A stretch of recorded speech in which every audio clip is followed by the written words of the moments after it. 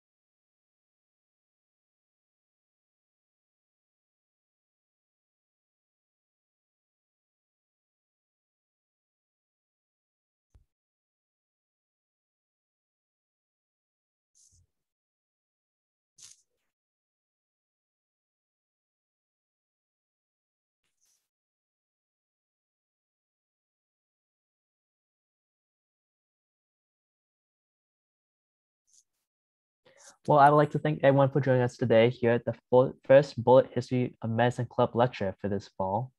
I'm Josh DeHoya. I'm one of the medical student co-leaders here at UNC School of Medicine. And I'm grateful to have such to host such a wonderful lecture lined up today. Today's lecture is Mind Body Medicine and Black Women's Clubs in the Era of Jim Crow. And it will be presented by Carrie Streeter. A little housekeeping before we get started today. We will host a Q&A session at the end and please submit your questions in the QA, Q&A box, which you can find at the bottom of your screen. This lecture will be recorded and will be made available later this week on the Bullitt History of Medicine Club website. Carrie Streeter, today's speaker, is a PhD candidate at the University of California, San Diego, specializing in US histories of health and gender and race. In 2012, she completed a master's in public history at Appalachian State University, where she also currently teaches. Her research focuses on the history of mental health care, broadly conceptualized. After writing a master's thesis on the progressive era development of Broughton Hospital, North Carolina's second state mental hospital, she began researching therapeutics in a different venue, the parlors and schools of the late 1800s, where American women popularized exercises we would recognize today as mind-body medicine. Today's presentation draws from that research and is part of her forthcoming dissertation, Wings to Their Heels, Self-Expression and Health, and the Rise of the New Woman. We are honored to have us here, we are honored to have her with us here today. I will now turn the microphone over to her. Thank you, Joshua. And thank you for inviting me um, to present this research with y'all. It's been, I, I'm often um, presenting this to US historians or dance historians, and um, it's a real treat to be in conversation with medical students and um, and medical professors. so I'm going to go ahead and just uh, launch on in. I'll share my screen here, I think. Okay, hopefully we're there. Um, I added a little, a little extra word to, or a couple words to the title, breathing power, um, which is something that women are actually doing in these practices, cultivating breathing power and also engaging the power of breath in projects of social activism in this period. Um, and so before diving into uh, the the lecture i wanted to give you a little experiment something that i usually do in a in a room full of folks but something that i thought we could all just be doing out in our own zoom world so um, if you're in a place where you can actually move your body and stand up do this or you can even just imagine what you might do if i first ask you to put your body in the pose of revenge um, how might your body express revenge and so usually in the room, I would, everyone would do this with their eyes closed. We'd open our eyes and we'd look around and we'd probably notice that a lot of us looked something like this, right? Arm up, um, a gesture of revenge. Okay, next one, exhaustion. When I say the emotion of exhaustion, what does your body do? And if we were to look around, we might we might all draw in, you know, look like we're about ready to nap. Uh, the next one I'd have you us experiment with is since it's October, we'll try horror. um, and here's a depiction of that. And the last one that I would have us try is uh, my favorite, my personal favorite, which is sauciness. um, and it's a little, it's definitely a very 19th century term, but if you imagine your body in the pose of sauciness, what might happen? here's this depiction of sauciness. Don't care. Oftentimes a hip gets kind of cocked. So um, as you can imagine in this, this period, these are this, um, this uh, generation's power poses, right? Um, and some of you may have seen this uh, TED talk by Amy Cuddy in 2010. I think it was like the most watched TED talk of all time or second watched or something like this. And it seemed to be a really revolutionary um, social psychology kind of approach to cultivating confidence that was connected with all sorts of kind of markers of health and wellness. Um, and then it got really became really problematic when the science, right? The science didn't couldn't quite replicate um, the findings of these studies. Um, but so the currently though um, i find it interesting right? This question of science persists with this modality of mind body medicine. How do we prove something that people seem to have a positive effect with? And just as recently as last year um, the association for psychological science came out and said you know postural expansiveness versus contractiveness does indeed make people feel more powerful. The effect isn't huge of course but it's clearly there this is something that I absolutely engage in my um, my dissertation work. Uh, the title of which, whoops, there we go. Um, Josh wrote or read "Wings to Their Heels: Self-Expression and Health, and the Rise of the New Woman." Um, one of the the title "Wings to Their Heels" actually comes from uh, this statue of the Flying Mercury. A very common prescription that women would give um, through this work was um, when one feels a case of the blues coming on instead of for giving into vague forebodings, she would put herself into the pose of the flying Mercury, this pose right here, right? The blues would take wings to their heels and fly away, referencing the wings of the flying Mercury. So we can see um, in that prescription, right, for something like melancholy or what we might call depression, right, um, that there's this power of a pose um, to affect your mood and to improve your health. Um, and really, this study takes us into the very complicated world of therapeutics themselves. And I think it's a good thing to bring in um, Charles Rosenberg's comments, enduring, valuable comments on this matter of therapeutics, right? Therapeutics involve emotions and personal relationships, and they incorporate all of those cultural factors which determine belief, identity, and status. And um, as Joshua mentioned, I, I did begin this study really in the mental hospitals of North Carolina in the progressive era. I spent two years with those records exploring the development of therapeutics in this ascendant period of biomedical authority.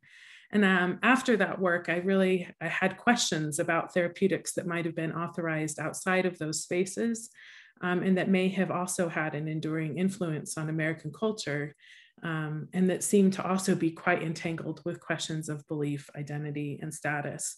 And indeed, the therapeutics I'll be telling you about today are really the behind the scenes embodied practices of the women's movement of this period. Um, the women that are uh, doing these iconic suffrage parades in the 1913 and 1913 and throughout this period would have been practicing these exercises um, in preparation for performances like this, where they're part of a regular culture in schools and society clubs. And just as um, these movements, the women's movement was very deliberately white and often um, excluded Black women, our purview and our understanding of these therapeutics has also often erased um, Black women from these uh, settings. Um, and so I want to talk, the talk today will focus a bit more on those questions of race and how those questions, how that dynamic informs both our understanding of mind body medicine writ large, but also in this period.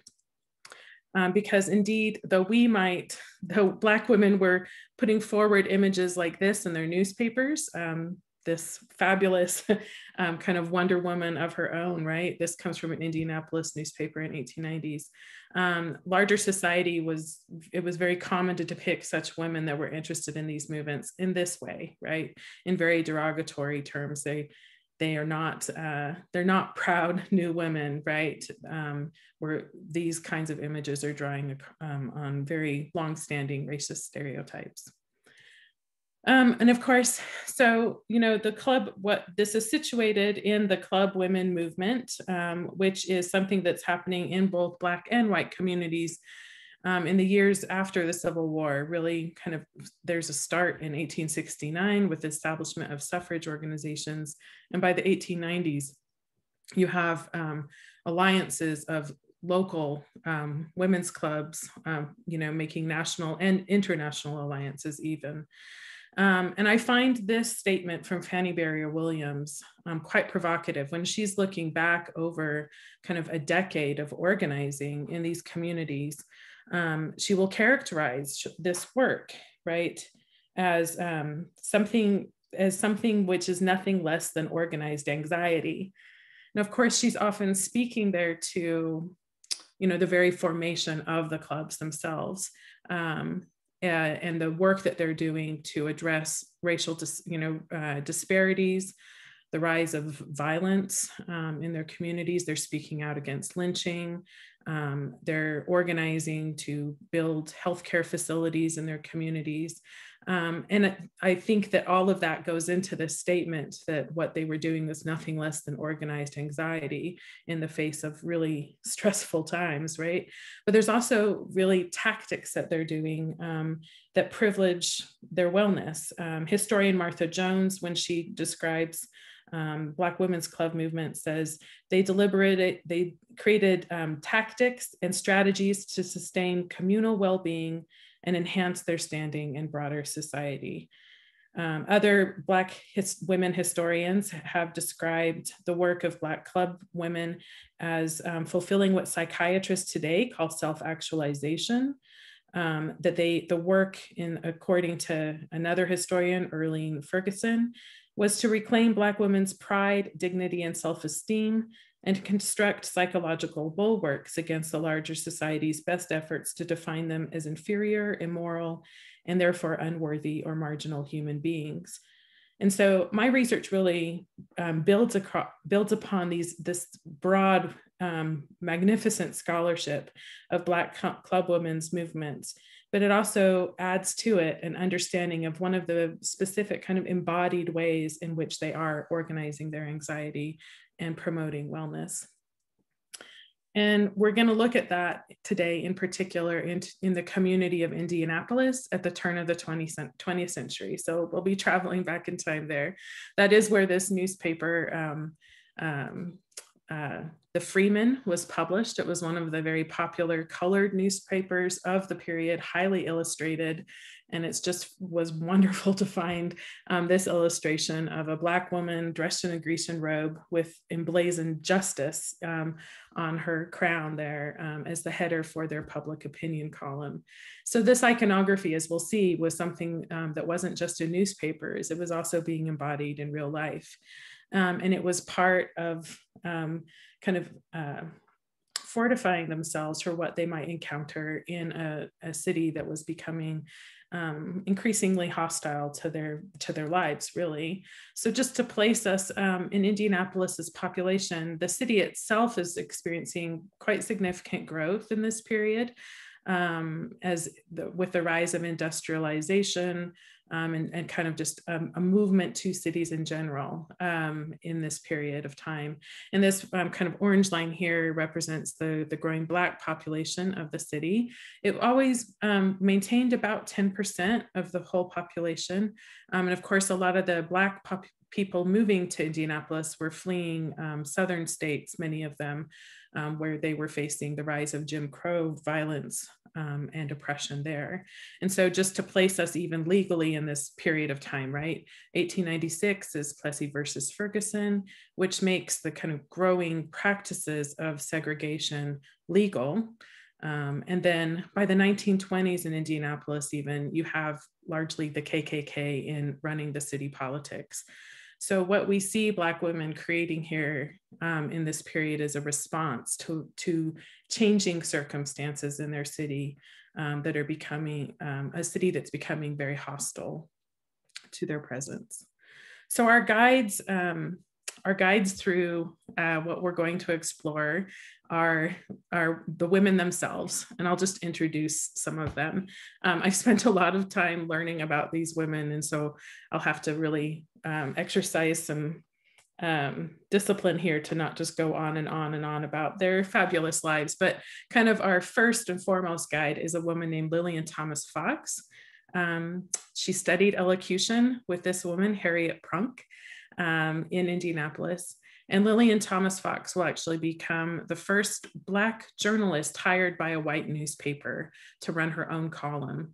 Um, she does that in 1900 um, and she retires in 1917. Um, she's a voice for the Black community of Indianapolis. She persistently puts their lives and the photographs of them and their, their comings and goings um, in the columns in the, in the white newspapers in the city. Um, she also forms the for the Black women's clubs of, or I should say, she forms um, uh, some of the prominent Black women's clubs of Indianapolis, and also is the leader from Indiana in a national alliance of Black women's clubs. So she's incredibly influential.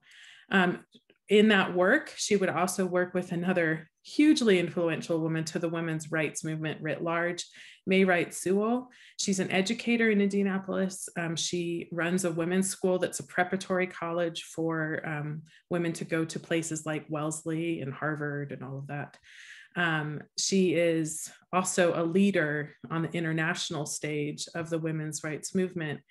And notably, when Black women join some of these um, national organizations and Southern women protest their presence, May Wright Sewell is one of them that intervenes and absolutely makes sure that Black women are invited to those um, women's clubs, the national women's clubs.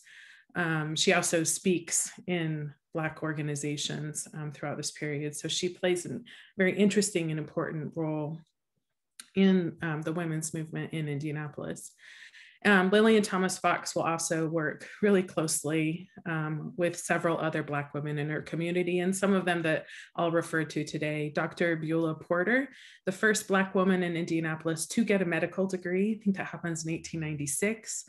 Um, I'm not 100% sure, uh, can pin all the details down, but I think um, running, you know, having a profession as a, as a Black physician, female physician was um, not the easiest route for her probably at the time. And she ends up becoming a, a, school teacher and a principal, and we'll encounter some of her work a little bit later.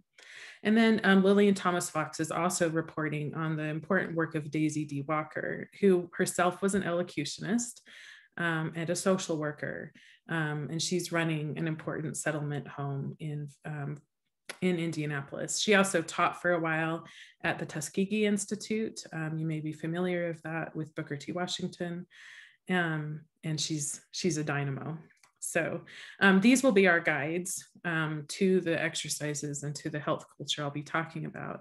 And I actually just like to imagine if we could be at a in a room with them, you know, if we could have dinner with these women and we asked them what activities in, in your community benefited women's health, they would answer classes of psychophysical culture.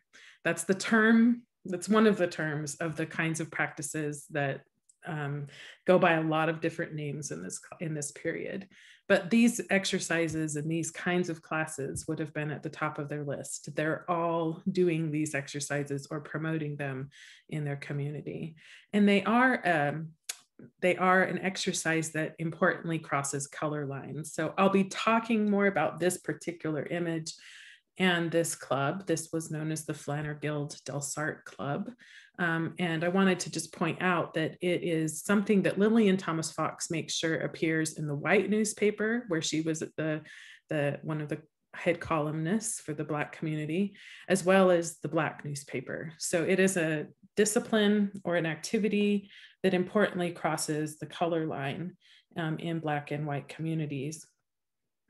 Um, and I want, before I explain what this is and what they're doing, um, I thought I might tell you a little bit more why they're calling this Delsarte. You may have heard of Delsarte, um, but more it's likely that you haven't. Um, so Francois Delsarte was a Frenchman, actually. Um, he was a trainer of actors. He never came to the United States. He died in 1871. Um, but American elocutionists and actors are really drawn to his um, what they call science of expression, and they believe he discovered laws of expression. Um, two of the most popular laws were the law of correspondence. To each spiritual function responds a function of the body. To each grand function of the body corresponds a spiritual act. So you can hear in that, right? A mind body correspondence. And then the other popular law of expression among Americans was this law of control. It said strength at the center, freedom at the surface. Now, American women largely are responsible for taking these laws and applying them to exercises um, and, and really to popularizing and publishing the manuals by, that will explain these laws of expression and also illustrate them. So what you're seeing here is from the manual of Genevieve Stebbins, um, the first kind of textbook of Delsartism. And as you could, as you might imagine, right here we have kind of graphing out um, body language and trying to um, explain and establish that correspondence between mind and body, gesture and emotion. Um, it's there's so much more to just the story of Delsarte and the way that American women embrace this science, this claim to science, right? But the thing that I would encourage you to take away from what I'll be talking about today is that even though largely actually most of what American women are doing under the name Delsarte is nothing the Frenchmen ever taught um, the, the moniker Delsarte is really functioning in a um, crucial way for them. It's a shorthand way of saying that what they were doing was scientifically verified um, and that that had implications, um, social implications for them. We'll also just place this kind of in the broader development of um, um, of understanding emotion itself. In its time period, Americans would um, many prominent Americans would make connections between what Delsarte had um, expressed and Charles Darwin's findings on the expression of the emotions in man and animal. In fact, the two theories come to America at this basically the same time. And some people would say Delsarte is Darwin applied. So there's a lot more to this, but I do want to just mark it for you to also let you know, right, that this interest in this emotion, um, scientific emotion, is emerging from um, the world of elocution, which is about speaking and gesture, right?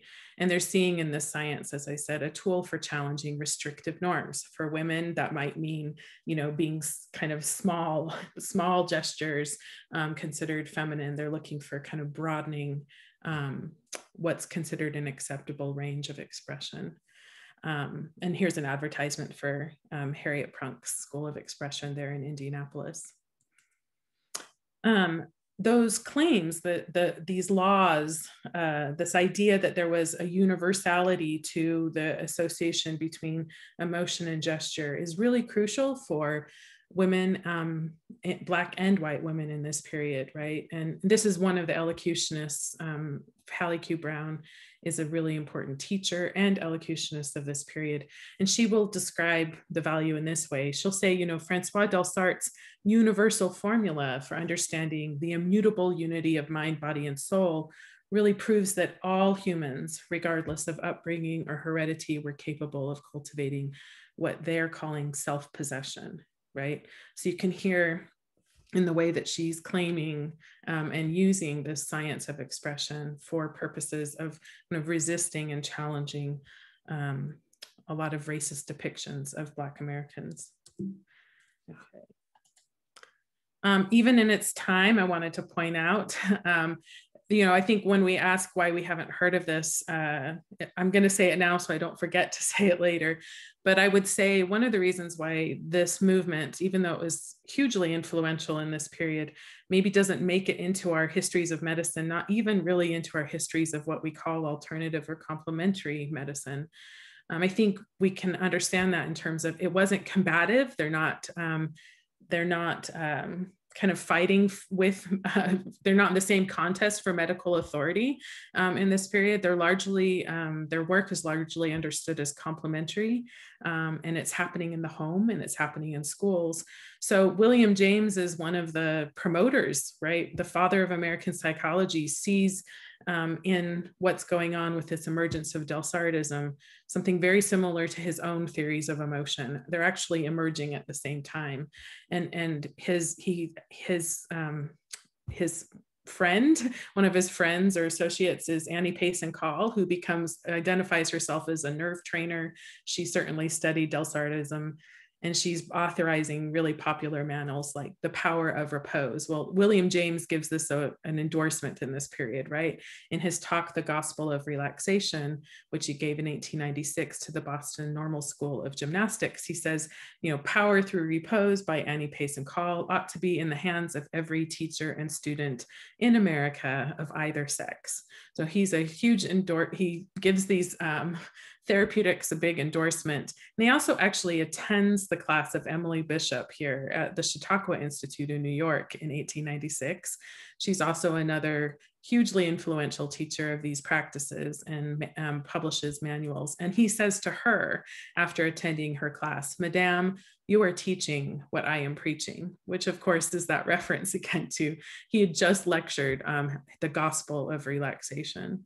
Um, and so you know these therapeutics i put this up here to to help us understand um, how widespread um, these therapeutics were and how very local they were too right? There it's an exercise it's a therapeutic that relies upon um, repeated practices. And so um, they're making a lot of um, they're taking up space literally in homes parlors and community centers in this period of time so what exactly are they practicing? Um, I think the visuals, you know, picture is worth a thousand words, as they say. So here's some photographs of the types of things. Uh, if you went to a class that was um, called Delsarte, um, it might get be called Delsarte. It also might be called that bigger name, psychophysical culture. Um, you would begin with movements that loosened your tension um, loosen tension in your body. So the common one of shaking your hands is a really um, kind of common um, beginning exercise. You also um, will see in a lot of manuals an instruction for something like this, right, where you're bending over and releasing tension in your body. So you're beginning a class, right, um, with that point of kind of loosening this tension. And next, you would do breathing exercises. Now, a lot of these were deliberately um, addressing issues of respiratory health. Um, they and if you think about it, if you're if you're an elocution teacher and you're interested um, in in having a voice that you don't lose after speaking a while, breathing exercises are really central to that. Um, and so these exercises are meant to strengthen one's voice, but as I will reference a little bit more later too, they're also um, addressing the most prevalent uh, warning signs of tuberculosis or consumption, right? So shortness of breath and a sunken or immobile chest and a kind of torpid constitution. Um, so this was a benefit that they saw of these types of practices. Um, they're doing like this tapping exercise, you know, they're doing breathing in association with movement of the arms. And these really are actually exercises that emerge um, in American culture in earlier parts of the 19th century in the health reform movements of the antebellum era um, that are in, in a, a, period of time in which um, exercise as health is really understood as a really progressive um, therapeutic option um, for young medical professionals. Um, and so some of the women that are actually um, popularizing the things called Delsarte or psychophysical culture had actually taken time to study with some of those physicians um, in the 1880s. Um, by this point, those physicians are quite old, but they're drawing from their work and they're kind of continuing its um, its popularity in their own in their in their own ways. Of course, the other the other really iconic um, practice of a Delsarte class was this one, um, which was to simply lie down um, and in this breathing position and do a sequence. There was lots of different types of instructions, but essentially this is another one for relaxation of nervous tension. Um, it's also the the instructions frequently will ask um, someone to you know let their body feel heavy. Um, they'll visualize breathing in through their feet and through their head and all this. So it's kind of a long sequence of different kinds of things to do with the breath while lying down. And in terms of physical culture and um, kind of physical education in this period, this emphasis on relaxation is quite um, distinctive um, in what becomes known as Delsarte. As you can imagine, this is a very different type of class than um, basketball or football or something like that. Of course, women are not doing football, but they are starting to do basketball in this period. Um, next, um, after these relaxation practices, uh, women would have moved through what kind of a very slow paced strengthening movements. So you can imagine your body, and maybe you've even done some of these movements yourself, um, right? They're trying to build that core, like literally in the in the muscular um, uh, systems of the body. But he, there's also an understanding of right, kind of the emotional benefit um, in these uh, um, exercises. We see uh, that Delsarte law that they would have said the, the law of control, strength at the center, freedom at the surface. And lastly, and another really kind of um, actually two more examples of what they're doing in these classes. Um, they're exploring a range of emotions with Grecian statuary as their guides. And this is just one example of some pages um, from a, one of these Delsarte recitation books that has all these Grecian statues in it.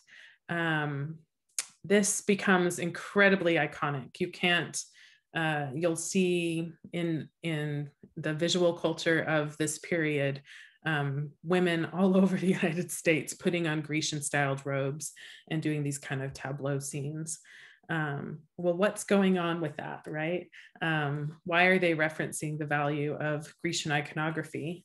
So just in some ways, like, and this is, I will say, a total American invention of American Delsartism. Um, Francois Delsarte, the Frenchman, certainly never did these types of practices. Um, part of what you see here is that ish way of um, claiming a common aesthetic, a revered aesthetic, in order to um, intervene and broaden what is understood as an acceptable feminine display of emotion. So it wasn't uncommon in this period for women to be encouraged to be small, right? To not that there were actual um, in the elocution world in particular, there were gestures that were considered only appropriate for men. They're the large, kind of defiant gestures.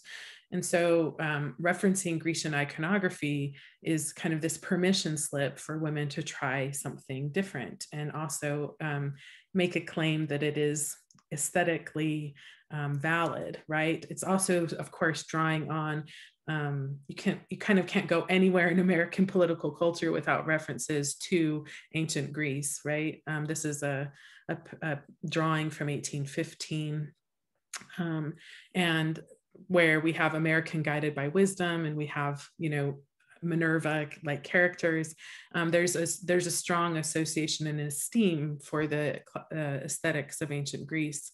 And of course, this is also present in those earlier health reform movements, right? A very common encouragement for women to get out of corsets, for example, is to compare um, the effects of corsetry to the natural waist of like a Venus de Milo. Um, and so all of these references are also in play in what in the Grecian icono Grecian statue posing practices um, that are understood to be good for women's health in this period. And they're doing something a little bit more than, um, than just kind of standing in a static pose. Um, in, these in these practices of American Delsarte, they're also um, innovating what will eventually become, um, they'll call it a drill, and sometimes they'll also call it a dance but because um, dance could um, be seen as immoral in this way, um, they're kind of playing in that zone of trying to get approval for practices that right are kind of maybe a little more sensuous. But this is one of the popular drills like that the Flanner-Guild Delsarte Club in Indianapolis could have done. They would have started their drill um, taking the pose of Diana here, um, then moving on to the fighting gladiator, then a, a defensive, uh, a defending gladiator here, and then ending with this very triumphant pose, um, the winged victory, um, where each woman actually would have raised her arms overhead and done that practice, right, of drawing strength in her center and marching forward. They would kind of, you read the instructions for these dr drills, and they're just kind of, you know, triumphantly marching with their arms overhead. Um, they from these kinds of drills they would also uh, move into what would be recognized more as as dance. And they're actually taking inspiration from this kind of um, visual display that is on items of antiquity.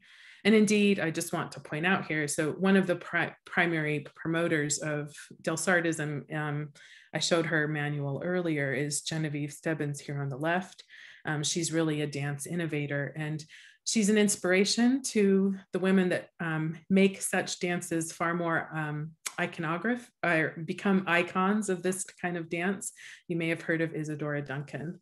Um, she's one of them that grows up um, having learned and been in, exposed to um, the popularity of what gets known as American Delsartism.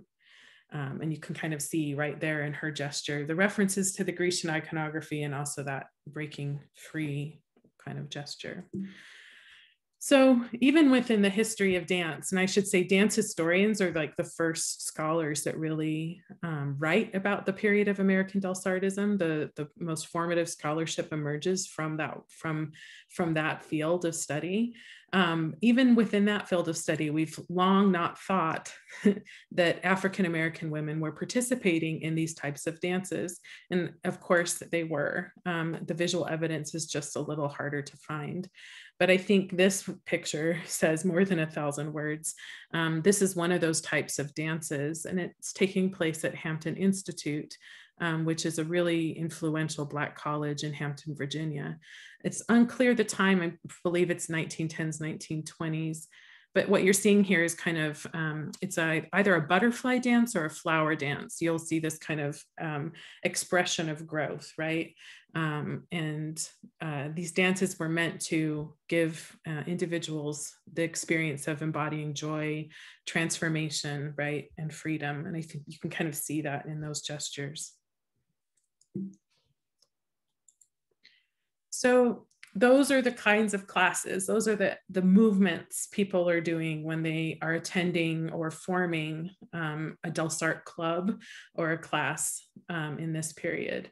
And the indianapolis newspapers which is my source for most of this research right is regularly reporting black and white women's movements of or performances of these psychophysical exercises these Delsarte tableaus like this, um, the Grecian poses, and the flower drills and dances. And this is where I bring in Dr. Porter, who after shortly after getting her medical degree and becoming um, an educator and a principal, you regularly see Lillian Thomas Fox, her friend and colleague, reporting on Dr. Porter's um, uh, students performing flower drills um, at their graduation programs or in their schools.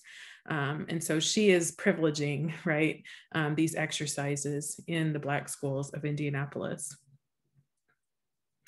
Um, I'll just uh, also another example, right? May Wright Sewell in a much more um, uh, fancy space. Uh, she not only opens a school for girls, she also um, helps build this place called the Propylaeum, which is in Indianapolis. It's a center for the women's movement of this period.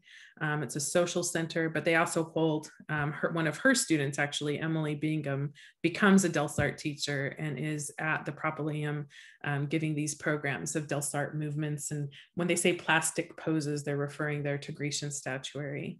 Um, and so they're doing these relaxation and confidence building poses in this place. A propylaeum is also a, a, a, Grecian word that means threshold. And so you can even in this in the you know the, the practices they're doing of statue posing in this space is all evoking that spirit of a new woman. So um, I've referenced just a little bit, but if we ask, you know, what did what conditions did women claim to alleviate through these psychophysical exercises? Um, this is a kind of comedic um, example of from the Boston Globe that the Delsarte system imparts grace to human emotions, and it's a wonderful medicine for nervous, overworked persons, right? So indeed, the conditions that they're that they that women are often often saying um, are aided by these exercises are nervousness. I should have put neurasthenia up there. They are saying these exercises prevent them from getting neurasthenia course, melancholy, insomnia is a really big one. There's a lot of um, promotion of these exercises to help you sleep. And then digestive disorders um, and dysmenorrhea or issues with, um, you know, their periods, uh, painful cramps and things like this. These are very common. There's also prescriptions for headaches and things like that. And then, of course, the biggest one, though, um, also is they believe that breathing exercises that they're doing through these practices were incredibly beneficial for fortifying respiratory health. And this benefit is meaningful in light of the endemic presence of consumption and tuberculosis. And actually, many of them are living through that moment in which, you know, we've the, the discovery of the tuberculosis bacteria and um, and the and and witnessing and kind of involved with the way that that is changing um, the the response to that illness in their own communities. Um, and you know i think that this is actually really telling because even though we don't just you know we discover the bacteria for a very long time as you know there's not um, really you know antibiotic antibiotic treatment. So for a good while this um, is the kind of encouragement for a cure you know go to see your doctor of course but get sunlight outdoor air good food and rest. Um, this is a pamphlet from uh, Indiana right there in 1910. So these types of practices that they're doing in these Del Delsarte classes are consistent with this encouragement to breathe well and to rest. Um, but of course, um, you know that is not uh, as accessible for everyone as it as as we might imagine, right? And indeed, all of these women that I've referenced earlier had lost loved ones um, to tuberculosis. Lillian Thomas Fox's daughter, um, her mother and brother died of tuberculosis. Um, uh, May Wright Sewell's two, both of her husbands died of tuberculosis. Um, there's just many examples. And so while they promoted a common repertoire of exercises for respiratory and overall health, these women also recognized and worked to alleviate the structural and ideological barriers that disproportionately harm Black citizens. And I'm recognizing I'm coming up against time here. I'm going to try to finish up here. Um, so I wanted to point out that the Flanner Guild, um, these performances are also not just helping individual health, but they are also um, building buildings they're raising funds so they're doing these exercises to uh, as fundraisers to build new community centers like this the flanner guild which was a settlement home offered um, pre kind of kindergarten care and after school care for children Um, the Women's um, Improvement Club, which Lillian Thomas Fox and Dr. Beulah Wright Porter head, also give entertainments to raise funds for the first Black kind of sanatorium or rest space for the Black community, right? All of these um, venues are segregated in this period of time. So their funds of entertainment or their entertainments raise funds for this fresh air camp. Um, it's also really telling that this, you know, in the white community, they're also giving performances to raise funds for white only um, rest parks. Um, this is one of the, the rehearsals for one such charity performance that is um, meant to to build this fresh air park. And it's, I found it really telling to see that on the very same program with the same types of flower dances and such that women in the Black community are doing, that at this um, performance, uh, th this charity entertainment, the program included also um, pieces called Every Race Has a Flag But the Coons and I Don't Understand Ragtime. So you have these kinds of embodiments of freedom along with uh, references to Jim Crow kind of minstrel caricatures.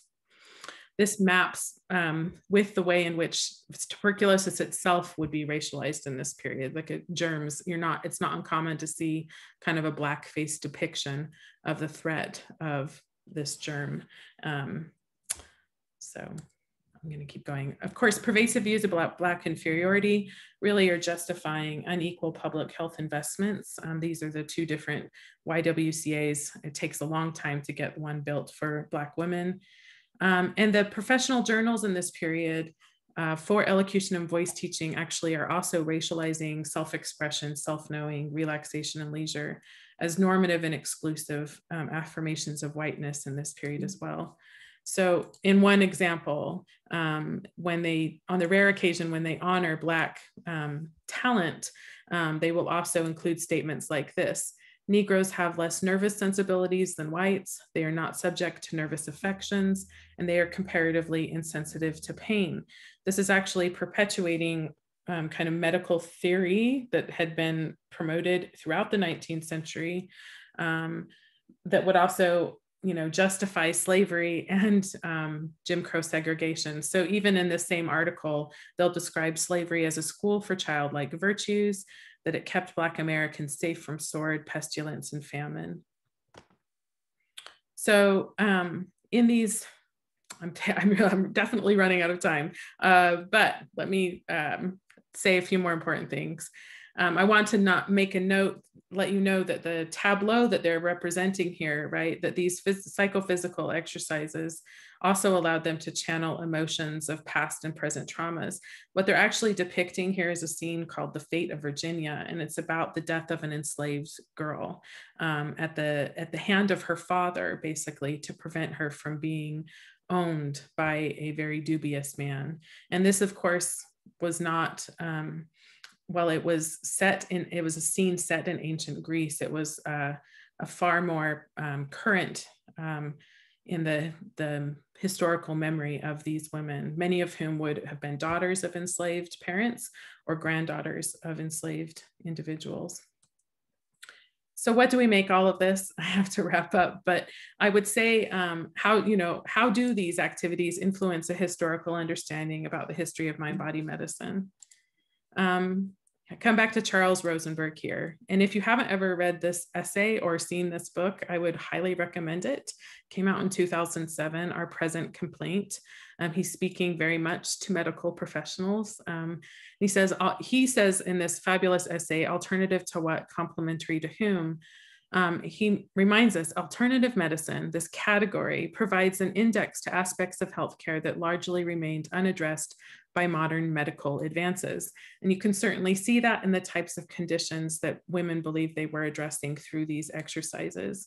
Another scholar of this, um, of mind body medicine says that the task really, right, is no longer to account for what we might recognize as a recent explosion or interest in complementary and alternative medicine, but rather to explain unexpected, unexpected continuities. Well, I would call them instructive continuities. There's absolutely a connection between American Delsartism and the modern culture of yoga, things we recognize there. American Delsartism is also, in its time, creating an influential rest cure for social activists in the Jim Crow era. Um, and this evidence, and this is a whole nother lecture probably, right? But I want to, to just state this, right? This evidence of what's going on with American Delsartism really requires us to reconsider the Eastern origin stories that we have about mind-body medicine. Um, and these are everywhere, you'll find them. And this was just published last year by the National Center for Complementary and Integrative Health. Um, the definitions of yoga as purely an ancient practice um, that is something modern medicine is kind of implementing now. I think this is quite a telling definition of complementary health from this manual. That complementary health approach is one that was developed outside of mainstream Western medicine and is used along with conventional medical care. The evidence of mind body medicine in um, Western medicine actually uh, doesn't support this kind of um, statement. So I'm happy to answer more questions about that. More complete historical narratives can endure, um, help us illuminate enduring opportunities and challenges of implementing mind body medicine, especially those that associate these practices primarily with Hinduism. Um, and indeed, um, right, these therapeutics are both not as new nor as ancient as they are often made out to be. This is also an instructive continuity, right? As we go deeper into these stories, we see the very subtle but very clear um, continuity of, uh, of understanding how racism influences health and wellness cultures. And this is just a screenshot from the CDC's recent um, launching of their website and initiative to help American, the American public recognize these issues more substantially. Um, of course, these continuities are also very present in robust scholarship that looks at the long histories of medical racism.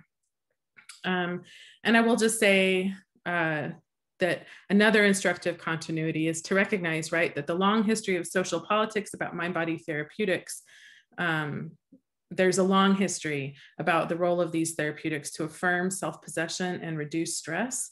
There's also a long history of these therapeutics as a tool for um, activism, right? You may have been following this case about the, the efforts to overturn, overturn a legal banning of teaching yoga in schools.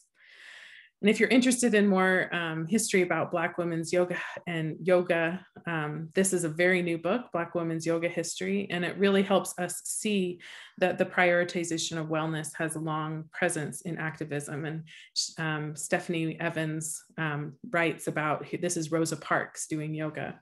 So if that's intri intriguing to you, I would encourage you to look up Stephanie Evans' work. I'll end um, with just this reminder, right, that rest and relaxation as a practice of health has um, ha is very entangled with our political and economic, um, racial and gendered systems. And I'm going to end then finally with give Daisy D. Walker, who I haven't talked about nearly enough, but she's the teacher of um, Delsarte practices in Indianapolis. When she's um, speaking to a board of charities in Indianapolis, um, her plea to them for support for their community is to remember that the people are here because of a chain of uncontrollable, uncontrollable circumstances and to treat them as if they were human beings. Um, these therapeutics and the support for the spaces where people can practice rest and relaxation um, are indeed part of that enduring project of seeing the humanity in each other. And I don't know what else um, contributes to public health, perhaps more uh, meaningful um, than that. So with that, I will stop sharing. Um, and I apologize for going over a little bit, but would be happy to answer some questions.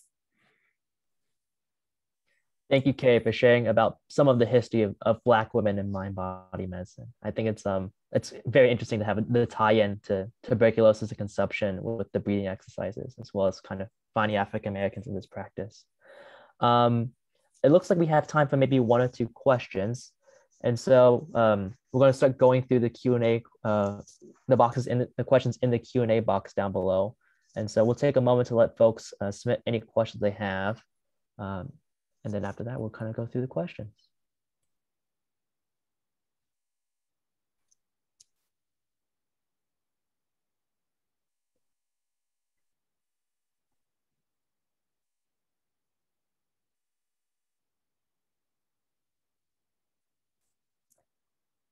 Okay, we have one question here. Um, interesting to see how these 19th century ideas emphasize women's wellness and relaxation as a function of movement positions that take up space instead of things like prioritizing managing one's time. Why was this mainly aimed at women? It's a good question. Well, women are really actually the promoters, they're the innovators. Um, they are writing the manuals, they're forming the classes. Um, and it's it it is a response to kind of the to the stresses they're facing. I mean, in in the 1870s and 1880s, one of those key things is really just it's both um, you know the encouragement to to be able to move more freely throughout society and to move more confidently. And so these practices are related to that, and they're associating confident self-expression with itself um, with with the project of health itself they're making that connection so um, yeah they are talking about kind of um, it's not it's less uh, there's so much to draw from comparing this culture of wellness to contemporary culture of wellness um, because there is a consumer culture that emerges out of it but it's not quite um, the same as what you know there, there's clothing that gets del- called a delsarte um, shoe for example like it's there's the yoga there's a yoga clothing of this period too. So i don't know if that answers your question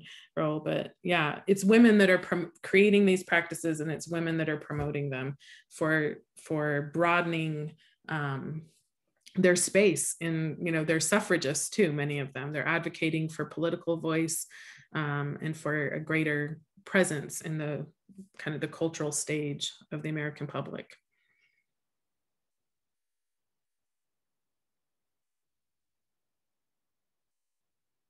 And then we have another submission here, less of a question, more of a comment, but very interesting talk. Thank you. Though I do not have any questions, the role of CAM is of great interest to me. And you bring up interesting points about it. Well, thank you. You're welcome. It's a lot to untangle. You know, studying this history, there's you have to encounter a lot of um, you encounter a lot of veiled ways. And I, I meant to put up a slide on this, but I would encourage everyone to recognize that in this modality in particular, because it's hard to measure its efficacy, and it long has been hard to measure its efficacy origin stories do a lot of the work of efficacy. Um, and so part of the appeals to an ancient kind of um, ancientness of these practices is one of those origin stories. Um, and it has a history, the way in which we even ascribe that ancientness to these practices is something to, to understand. So um, I would just rec- I would encourage you to take that away, that origin stories are part of the way of establishing the validity of these practices. Well, uh, that seems to be all the time we have for questions okay. today. but um, I would just like to remind folks that we will be having another uh, lecture coming this fall in November. Um, will be it'll be with Dr. Simone Kro- uh, Kropf, and she'll be talking about the history of Chagas disease, science, and health in Brazil. And that's Tuesday, November 16th at noon. Um, you can also find this recording online of today's lecture at the Bullitt History of Medicine Club, and I will be dropping links in the chat. Once again, thank you everyone for coming out today and have a wonderful day. Thank you, Carrie.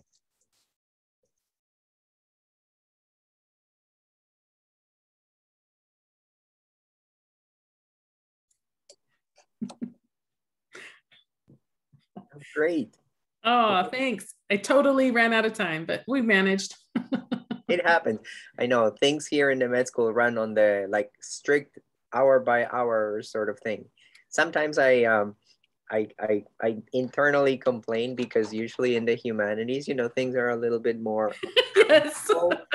uh, but the discipline here is very um, well, yeah, it's very disciplinary. It feels. It, it makes sense. You guys have full schedules. uh, yeah, well, everybody does, but it's anyway.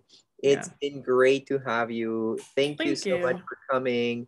Um, I'll talk to you offline about some uh, follow up details and. Sure. Uh, yeah, so please be on the lookout for an email from me. Oh, th- I will. Thank you again. Thanks again, Carrie. Take uh-huh. care. Bye bye.